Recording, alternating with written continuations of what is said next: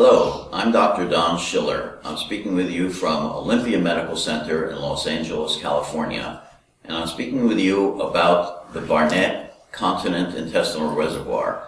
This is a specialized operation I've been performing for over 20 years. Originally, the operation started as the Kock pouch, and I began doing that surgery with a senior colleague when I first started practice in the 1980s. However, there were many failures.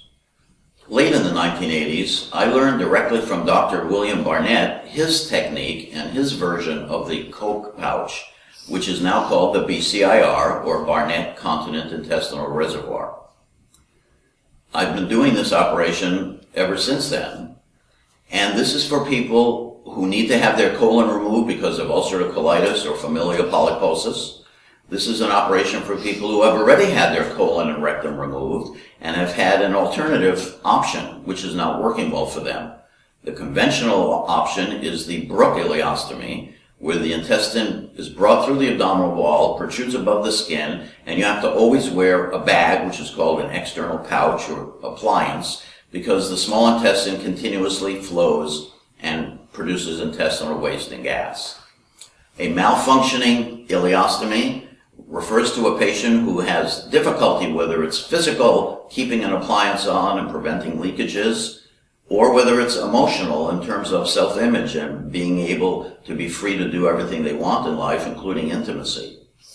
So for people who have a malfunctioning ileostomy in either regard, they may be a good candidate for the Barnett internal pouch procedure.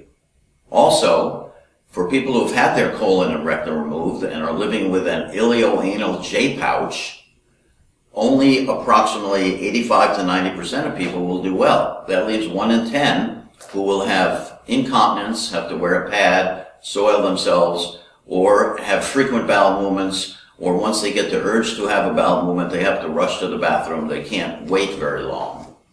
If you have had an ileoanal J pouch that is not functioning properly and not giving you a good result, you could be a good candidate to have it transformed into a Barnett pouch. The Barnett continent intestinal reservoir is shown here in schematic form. The stoma is flush to the skin. You only wear a small patch over it to collect mucus. The pouch is emptied by going into the bathroom and putting in a catheter painlessly several times a day to empty the waste. Some people do this two to three times a day. Some do it four to five times a day. It varies. The advantage of the Barnett internal self-sealing pouch is freedom. Number one, you get back control over the discharge of your intestinal waste. You can wait a long time from the first urge until you have to put your catheter in and drain your pouch Unlike people with a J pouch who have a limited period of time that they can wait without soiling themselves. In addition, since there's no external appliance, you will have an enhanced self-image and quality of life. Uh, many studies have been done over the years since Dr. Kock originally designed his pouch in the late 1960s.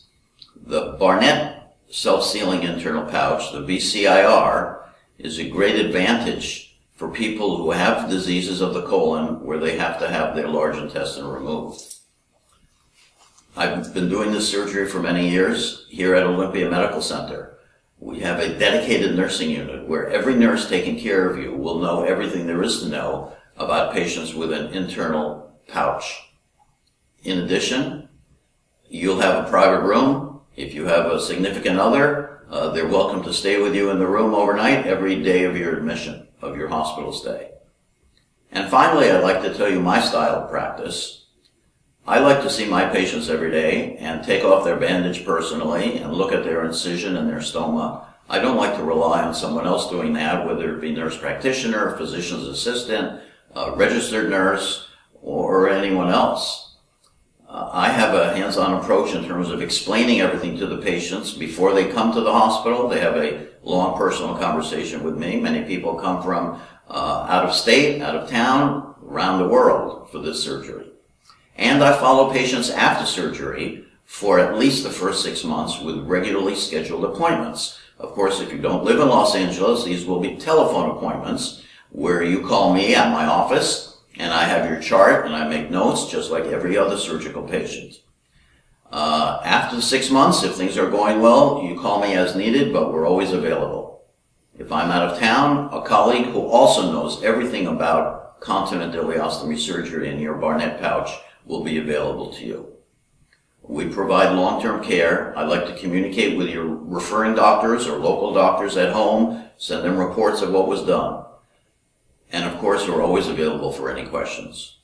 I want to thank you for listening to this presentation. If you'd like to contact us, please call the toll-free number you see on your screen. Once again, thank you very much.